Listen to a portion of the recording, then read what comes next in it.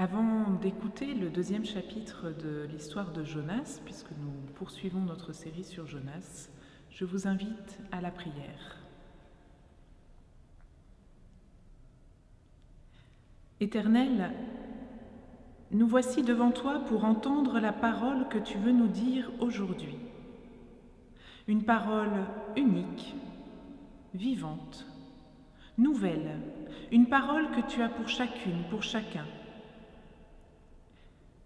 Permets qu'à travers notre méditation des mots anciens, nous puissions nous ouvrir à cette parole pour aujourd'hui. Viens toi-même nous donner ton esprit afin que nous puissions recevoir la nourriture spirituelle dont nous avons besoin pour avancer sur la route, avec toi et avec nos frères et sœurs en humanité. Amen. Alors pour cette deuxième semaine de l'Avent, nous poursuivons donc notre lecture de Jonas. Petit rappel de l'épisode précédent, Dieu a adressé la parole à Jonas pour lui demander d'aller prêcher à Ninive, et Jonas n'a pas hésité. Il s'est levé et il est parti dans la direction opposée.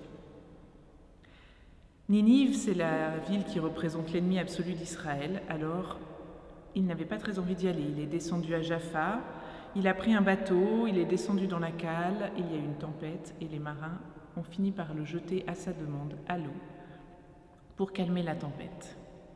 Voici la suite de cette histoire. L'Éternel fit venir un grand poisson pour engloutir Jonas, et Jonas fut dans le ventre du poisson trois jours et trois nuits. Jonas, dans le ventre du poisson, pria l'Éternel son Dieu. Il dit, Dans ma détresse, j'ai invoqué l'Éternel et il m'a exaucé. Du séjour des morts, j'ai crié et tu as entendu ma voix. Tu m'as jeté dans l'abîme, dans le cœur de la mer, et les courants d'eau m'ont environné. Toutes les vagues et tous les flots sont passés sur moi. Je disais, je suis chassé loin de ton regard, mais je verrai encore ton saint temple. Les eaux m'ont couvert jusqu'à m'ôter la vie. L'abîme m'a enveloppé les joncs ont enveloppé ma tête. Je suis descendu jusqu'aux racines des montagnes. Les barres de la terre m'enfermaient pour toujours. Mais tu m'as fait remonter vivant de la fosse éternelle, mon Dieu. Quand mon âme était abattue au-dedans de moi, je me suis souvenu de l'Éternel, et ma prière est parvenue jusqu'à toi dans ton saint temple. Ceux qui s'attachent à de vaines idoles éloignent d'eux la miséricorde. Pour moi, je t'offrirai des sacrifices avec un cri d'action de grâce, et j'accomplirai les vœux que j'ai faits. Oui, le salut vient de l'Éternel. L'Éternel parla au poisson, et le poisson vomit Jonas sur la terre ferme.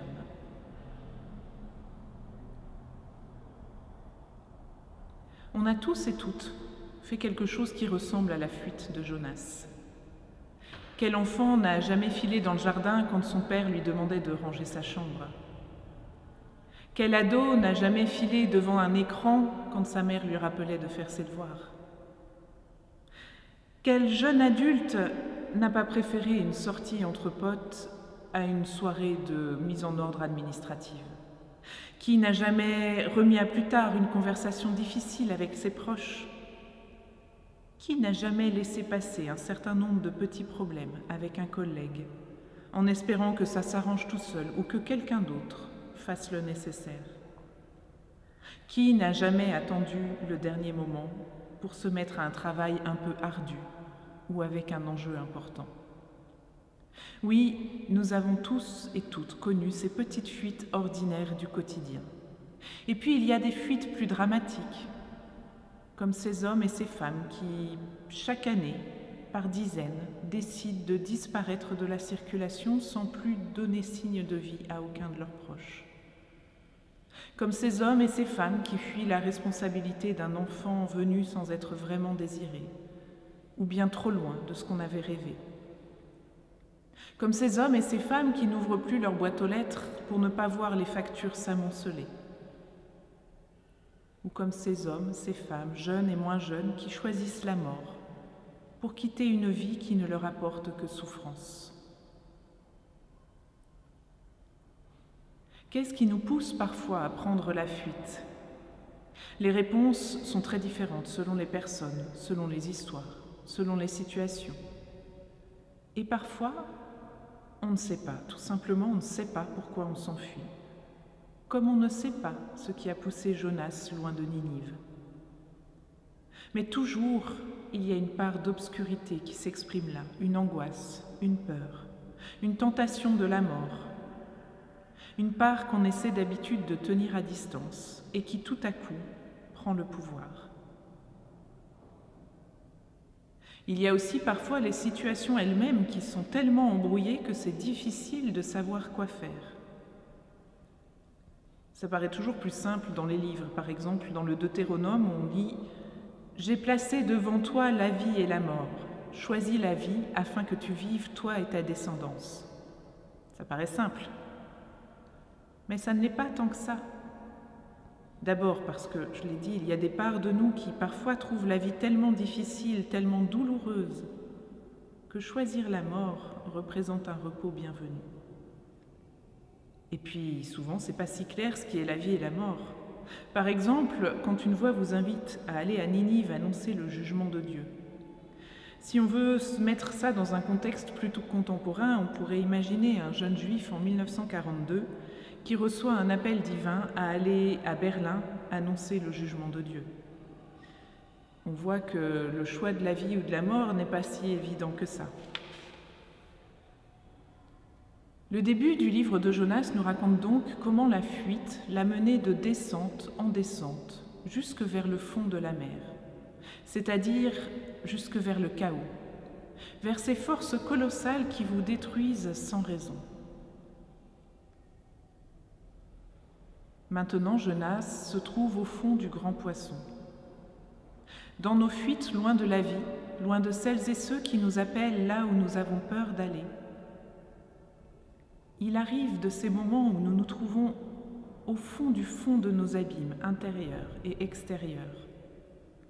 Un moment où on se croit hors de portée de tout secours, de tout salut, parti tellement loin, consciemment ou non, que rien ne semble plus possible que la mort. Lorsque Jonas s'enfuit sur la mer, loin de sa terre, loin de son appel, il tente de se mettre hors de portée de Dieu. À ce moment-là, dans l'histoire d'Israël, le Dieu d'Israël est bien le seul Dieu, mais seulement en Israël. Il n'est pas le seul Dieu au monde, comme on le voit avec les marins du premier chapitre, qui prient chacun leur Dieu dans l'espoir d'apaiser la tempête. Et dans cette représentation du monde, l'action d'un Dieu est liée au territoire qu'occupe son peuple, ou au moins à une délégation significative de son peuple dans un endroit. Et donc il y a des zones qui échappent complètement à l'action de ces dieux nationaux et territoriaux. Mais dans l'histoire de Jonas, un basculement s'opère. Le Dieu d'Israël se révèle agissant même loin de la terre promise, même sur la mer, le lieu de tous les dangers. Il se révèle aussi comme agissant pour d'autres peuples lointains.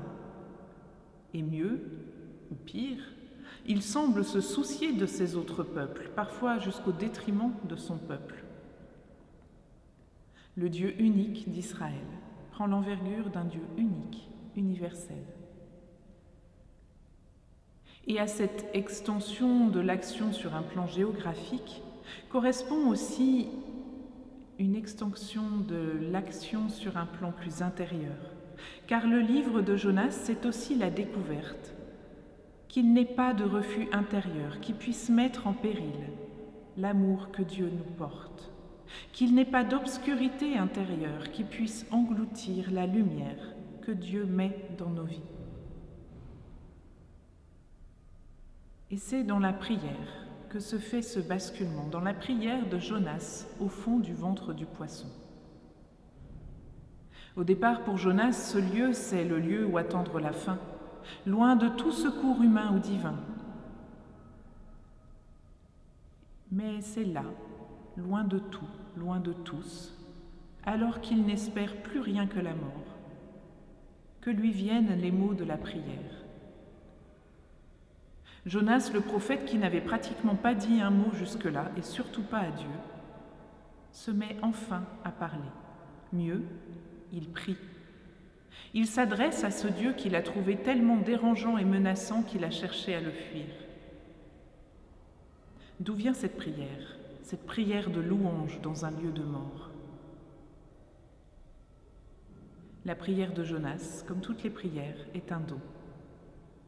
Plus exactement, elle est un fruit inespéré de la parole de Dieu, qui jusque-là avait semblé rester extérieure, inefficace, étrangère, pire, contre-productive. La parole demandait à Jonas d'aller à Ninive et il s'est enfui dans la direction opposée, préférant se mettre en danger de mort. Mais voilà qu'enfin un fruit paraît, la prière. La parole de Dieu adressée à Jonas a fini par engendrer la parole de Jonas adressée à Dieu dans la prière.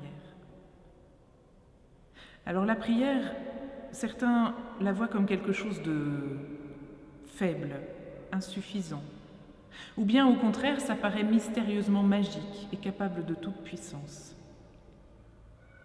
Ici, on découvre la puissance de la prière. C'est une puissance de résurrection, un chemin de transformation qui s'ouvre pour Jonas. Lui qui fuyait seul, le voilà arrêté, et voilà qu'il entre en relation. Lui qui choisissait la mort, voilà qu'il choisit la vie. Au début de cette prière, Jonas voit Dieu comme le responsable de ses malheurs. C'est Dieu qui l'a jeté à la mer, c'est Dieu qui l'a englouti, c'est Dieu encore qui l'a chassé loin de lui. Dans cette première représentation de Jonas, il est clair qu'ayant fui devant l'injonction de Dieu, ayant refusé sa mission, il mérite la punition divine. Et dans cette première compréhension toujours, la tempête vise à détruire Jonas en guise de punition. Et puis la perception de Jonas évolue. Ce n'est plus Dieu, mais les éléments hostiles qui sont la cause de son malheur. Les eaux, les joncs, l'abîme, les forces extérieures, hostiles. Et puis toujours dans la prière, la vision de Jonas se complexifie encore. Ce n'est plus Dieu, ce ne sont plus des forces extérieures, mais aussi des parts de lui-même qui sont responsables de son malheur. Je suis descendu jusqu'aux racines des montagnes, dit-il. Et enfin, cette découverte incroyable. Tu m'as fait remonter de la fosse éternelle, mon Dieu. Alors que je te croyais vindicatif, je te découvre attentif et délicat. Alors que je te croyais vengeur, je te découvre plein de miséricorde. Oui. Alors que Jonas croyait Dieu hostile, Dieu prenait soin de lui. Alors que Jonas se croyait poursuivi par la vengeance de Dieu, c'est le salut qui lui était sans cesse offert. Alors qu'il pensait que les éléments ou son refus le mettaient hors d'atteinte de l'action de Dieu, Dieu agissait. Cette tempête n'était pas une punition, mais une occasion de stopper la fuite en avant et de provoquer la prière. On voit d'ailleurs les marins exhorter Jonas à la prière qui refuse, préférant la mort. Cette chute dans la mer que Jonas a réclamée a calmé la tempête, non pas parce que Dieu avait obtenu la punition qu'il souhaitait, mais parce qu'il devait maintenant changer ses plans et trouver comment sauver Jonas autrement. Cet énorme poisson, qui pour un Hébreu est clairement un symbole de chaos mortel, n'était pas une mort différée, mais un salut à venir. Dieu soumet cette force de mort pour en faire l'instrument d'une vie renouvelée. Jonas découvre aussi dans la prière que Dieu l'a sauvé sans raison. À aucun moment Jonas ne s'est repenti d'avoir fui. À aucun moment il ne dit qu'il a fait une erreur. À aucun moment il ne marchande promettant d'accomplir sa mission en échange de la vie sauve. Jonas refuse toujours de tout son être d'aller là-bas. Il est persuadé que cela ne lui vaudra que la mort. Mais il découvre que cela n'empêche pas Dieu de vouloir pour lui la vie. Et c'est dans cette découverte que l'Éternel lointain, juge de son peuple et de chaque être, devient tout à coup l'Éternel, mon Dieu. Une relation personnelle s'est mise en place. Une relation personnelle est née de cette tempête intérieure et extérieure. Et le cri final de la prière de Jonas nous dit le sens de cette conversion. Le salut vient de l'Éternel. Oui, ce qui vient de l'Éternel, ce n'est pas le jugement, la menace, la punition, le rejet. C'est toujours le salut, l'amour pour ce qui en nous souffre au point de choisir la mort plutôt que de choisir la vie. C'est ce que nous sommes invités à redécouvrir à la suite de Jonas. Dieu n'est source que de salut. Quelles que soient les obscurités qui nous environnent, elles ne sont pas envoyées par Dieu pour nous punir et pas même pour nous éduquer. Par contre, à travers ces obscurités, parfois en utilisant ces obscurités, Dieu cherche sans cesse à nouveau à ouvrir des chemins de vie et de lumière.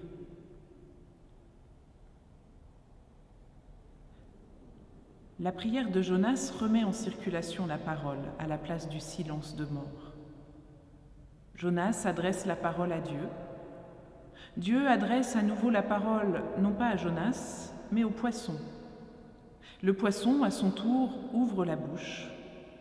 Pas pour parler lui-même, les poissons sont muets, mais pour recracher Jonas, porteur d'une parole nouvelle, vivante.